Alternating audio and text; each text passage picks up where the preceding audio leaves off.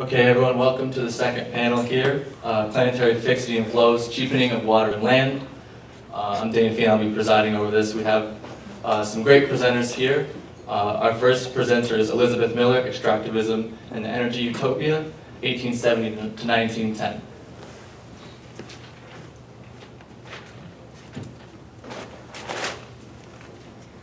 Do I just have the arrow keys to change it? Okay. Thanks, thanks very much. Um, So this paper is taken from a project that I'm working on about mineral extraction in the environmental imaginary in the long 19th century. And I'm specializing, uh, or I'm looking specifically at uh, the British Empire, the British imperial world. So that's just to kind of give you a sense of the context from which this is coming. Okay. Subsurface extraction became a race to the bottom under the global force of 19th century industrialism. From metals to minerals to coal, the steam engine and other new technologies, including new explosives and new means of conveying mined materials, contributed to an unprecedented scale of operations and the global establishment of an extractivist version of ecological imperialism.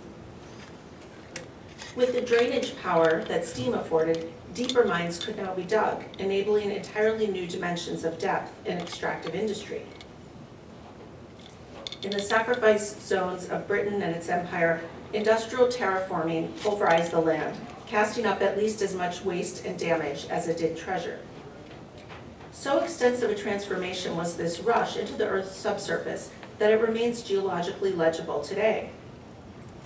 As Jan Zalasiewicz, chair of the Anthropocene Working Group, has written with Colin Waters and Mark Williams, quote, "The extensive exploitation of the subsurface environment that commenced with the British Industrial Revolution is an anthropogenic phenomenon with what they say is no analog in the Earth's 4.6 billion year history.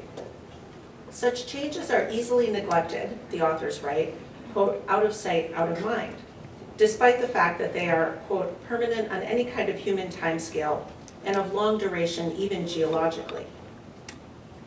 If mining, despite its massive environmental footprint, is easily ignored and easily overlooked, this is at least in part by design. As Stephanie LeMenager writes, quote, extractivism means, among other things, abstraction. If De Beers wants to remind us that a diamond is forever, they do not want to remind us that the big hole they dug in South Africa in the late 19th century will also last forever. The material conditions of underground mining do resist representation. It's difficult to see underground and difficult to obtain access. But such difficulties also suit a broader desire to overlook the conditions of extractive labor. While inspection of Britain's mines was legally required by the 1860 Mines Inspection Act, Marx notes in volume one of Capital that, quote, this act was a complete dead letter owing to the ridiculously small number of inspectors and the meagerness of their powers. In 1865, he says, quote, there were 3,217 coal, mile, coal mines in Great Britain and 12 inspectors. He quotes one miner who says, the inspector has been down just once in the pit and it has been going on seven years. Concealment, in other words, is both political practice and material circumstance. As this suggests, the 19th century saw the birth not only of modern extraction in its industrial forms, but of modern extractivism, the political, economic, ecological, and social relations bound up in the mining of underground resources. Dipesh Chakrabarty argues in The Climate of History that, quote, the mansion of modern freedoms stands on an ever-expanding base of fossil fuel use. And his claim could be extended beyond consumption to take in labor too. For miners' unions, as many critics have noted at this point, played a crucial role in the rise of labor, such that by the early 20th century, extractivism and petrosocialism were to some extent entrenched. The rise of an anti-extractivist left has been an ongoing project since, tasked with reimagining the goal of left politics. Thea Riofrancos describes a rift in the contemporary Latin American left around the issue between an old left desire to nationalize the mines and distribute the profits, and a new political horizon that strives for what she calls reciprocal collaboration in social natural relations. Motivated by our urgent need for new horizons and new imaginaries, this paper looks back to utopian fiction from the era when extractivist path dependency could be said to have hardened, 1870 to 1910. Jason Moore describes the post-1870 period as an era of peak appropriation enabled by coal in the colonies, just on the other side of what he identifies as a historical tipping point when, quote, capitalism as a planetary system became possible through the production of a globe-encircling railroad and steamship network. Planetary work and energy were appropriated on an unprecedented scale. This was also, relatedly, the peak era of utopian fiction, when such influential classics as Edward Bellamy's Looking Backward from 1888 and William Morris's News from Nowhere from 1890 offered political inspiration for activists and readers alike. As Matthew Beaumont has written in his work on utopia, utopian fiction, quote, at the end of the 19th century, a self-consciously utopian political discourse proliferated across English, lang English language literature with, quote, hundreds of fantastic novels, periodical essays, and polemical pamphlets, each one prophesying a future society from whose perspective the present state of affairs seemed manifestly unsatisfactory. Beaumont reads this utopian impulse as a structure of feeling in Raymond Williams's sense, symptomatic of an emergent consciousness. We might connect this utopian longing to the emergence of a global socialist discourse in the era of the First International, or to the extreme in income inequality of the Gilded Age. But I also want, but I want to suggest today that this utopian impulse might also speak to an emergent anti-extractivism, a latent sense of disquiet that the circuits of capital have, have become so beholden to stocks of underground energy. For many of this era's utopias are energy utopias that depict energy transition as the source of social transformation. My focus in this brief talk will be three energy utopias published in Britain and its empire. Edward Bulwer Lytton's The Coming Race from 1871, William Morris's News from Nowhere from 1890, and Rokeya Sakhawat Hossain's feminist utopia Sultana's Dream from 1905. Written in an era of exponential growth, these three speculative fictions anticipate the drawbacks of, of appropriation on such a scale. They imagine new forms of energy that do not require underground extraction, moving beyond the organizing principles of labor under fossil capitalism. And yet, none are able to imagine civilization proceeding without a new energy source to replace fossil fuels. I'll begin with Edward Bulwer Lytton's novel Coming Race, which is part of a subgenre of speculative fiction known as hollow earth fiction, narratives that take place in imaginary worlds underground and borrow from scientific speculation about the composition of the Earth's interior. The Coming Race peels back the surface layer of the planet to imaginatively reveal an underground frontier, one that does not consist of mineral resources alone. Here we find the underground civilization of the Vril Ya, who are named for their mysterious energy source, which is called Vril. Vril, as the narrator explains, oh, my slide came out a little weird here, uh, has no, Vril, the narrator tells us, has no exact synonym in English, but lies somewhere between electricity and mesmerism. It requires no extraction and is subject to no exhaustion, enabling good quality of life and reduced labor demands, such that most of the Vril Ya retire in early adulthood to a life of leisure pursuits the conceit of an entire civilization down to its social and political structures emerging as superstructure, Vril Ya, from an energy base, Vril, suggests how the coming race theorizes the determinate powers of energy regimes. Vril serves as what Darko Suvin has called narrative validation, that which provides a principle of believability in speculative fiction. In this case, a new energy source that explains the profound social differences exhibited by the Vril. For not only are the Vril named for their energy source, their very bodies have adapted to it. A, quote, visible nerve in their wrists and hands has slowly developed in the course of generations, a Lamarckian inheritance that promotes their mastery of Vril's agencies. What does such figuration suggest, by contrast, about humans' adaptation to fossil fuels? Natural selection has not yet wedded us to our energy cho choices in this narrative, and extraction-based life, especially at the time of this novel's publication, is still a mere blip in the evolutionary timescale. And yet, in imagining that a species might evolve according to the agencies and affordances of an energy regime, of an energy regime, the coming race suggests that human life could be more bound to its fuel sources than we realize. Like the coming race, William Morris's News from Nowhere is also an energy utopia, but one that depicts a, quote, epoch of rest, as its subtitle puts it, a post-carbon imaginary that reaches beyond frenetic modernity and the terrible labors of extraction-based life.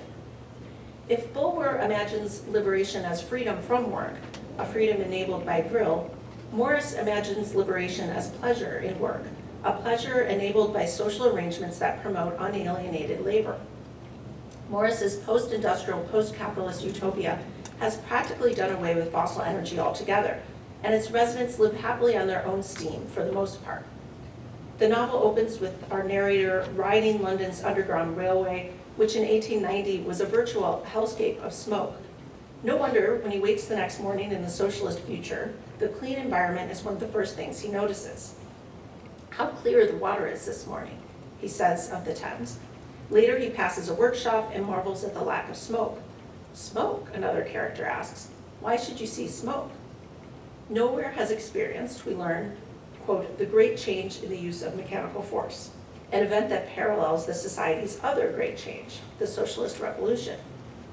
While the revolution is recounted in copious detail in the novel, the great change in the use of mechanical force remains mostly unexplained, though we do know that it entailed a drastic reduction in the use of fossil fuels.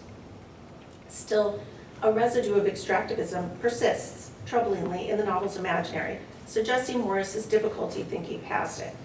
Quote, whatever coal or mineral we need is brought to grass and sent whither it is needed with as little as possible of dirt, confusion, and the distressing of quiet people's lives.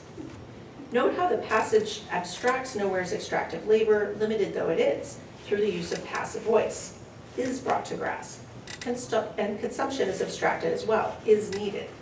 Such glossing over of energy's materiality can similarly be felt with respect to nowhere's new energy source, a clean, mysterious power that propels the force barges on the river, which have replaced the steamships. This power is, the narrator tells us, too complicated to explain. The novel remains littered then with extraction's remainders, even as it recognizes that a social break away from capitalism will also facilitate a break from fossil energy. The last text I will discuss is Sultana's Dream, a feminist energy utopia originally published in the Indian La- Ladies magazine, an English language periodical that was based in Madras, India. The story would later be published as a book in Calcutta in 1908. In the gender-reversed utopian world of Ladyland that Hossain depicts, men live in purdah while women govern and maintain social life. The women manage to run the country on two hours of work a day, leaving plenty of time for leisure pursuits. When the narrator asks how this is so, her guide explains that women, unlike men, don't, quote, waste six hours a day in sheer smoking. A humorous reference that also reminds us that smoke is precisely what is missing in this utopia. For the energy basis of Ladyland is solar power, extractionless, and presented here as capable of transforming gendered social relations entirely. Because underground extraction was mostly a male form of labor, it follows that a feminist utopia must be differently powered. Female underground mine labor was legally prohibited in Britain following the 1842 Mines and Collieries Act, but it was, the situation was less clear in the Indian Raj. In India, an inspector of mines was not appointed until 1894, which was almost 50 years after Britain. In his first annual report, the inspector emphasized that there were no legal principles in place in India to address, quote, female labor in the underground workings of mines. He reported that some Indian mines employed women underground carrying coals, but that they were a minority of the working population. This is a key consideration in analyzing the solar power imaginary of Sultana's dream, I think. It's a story that suggests how gendered social hierarchies are underlaid by the labor and energy demands of fossil capitalism. Hossain's narrator is amazed that Ladyland has learned how to, quote, gather up and store sun heat. But while solar power may have seemed magical to some readers when this story appeared, it did have a theoretical and practical basis in contemporary scientific discourse. Such plausibility distinguishes Hossain's solar power from the more fantastical fuels of the coming race or news from nowhere. But techno-utopianism is not all Ladyland offers as remedy to industrial extractivism. As the Queen of Ladyland explains, quote, "We do not covet other people's land, we do not fight for a piece of diamond." The story connects extraction not only to energy, but to war and conflict, aspects of modern extractivism that Ladyland has dug itself out from. If imaginative literature is a privileged site for identifying myths of energy and patterns of meaning-making as they relate to environment and history, we could see in this era's utopian narratives an effort both to expand our stories of what is possible and to reassert old patterns under new conditions. By the early 20th century, the British Empire was a giant extractive machine amped up on fossil fuels and powered by exploited labor at home and abroad. But in the era of that machine's painful birth, extractivism was only just hardening in the imperial imaginary such that we could see another horizon of possibility, one whose limits are as illuminating as its dreams. Thank you.